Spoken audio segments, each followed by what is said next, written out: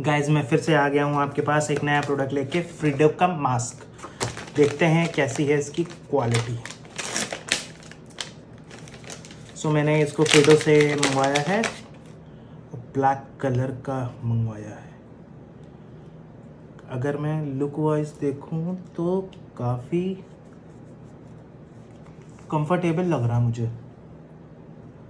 और इसकी भी स्ट्रैप एंड मटेरियल वाइज देखूँ तो मुझे काफ़ी ज़्यादा अच्छा लग रहा है। बस इसमें आपको यही मिलता है।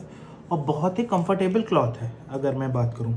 और यहाँ पे एक नोज़ का अटैचमेंट दे रखा है इन्होंने।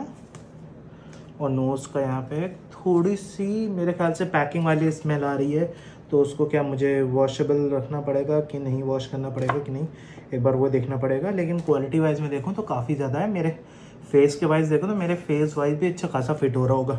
और इसकी और इसमें मैं मैं कंपेयर की बात करूँ तो इनमें तो आप जानते हो कितना बेकार होता है, इनमें तो कुछ भी नहीं होता।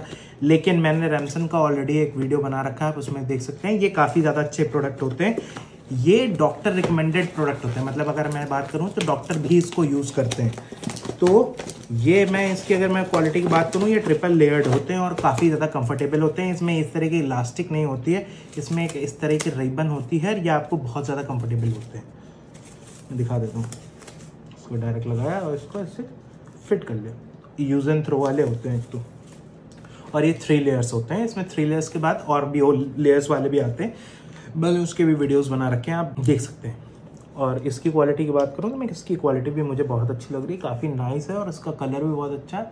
और मेरे फेस में भी अगर लग रहा है तो ठीक ही लग रहा होगा मुझे, ऐसा लग रहा है मुझे कि ठीक लग रहा होगा। तो आप बताइएगा।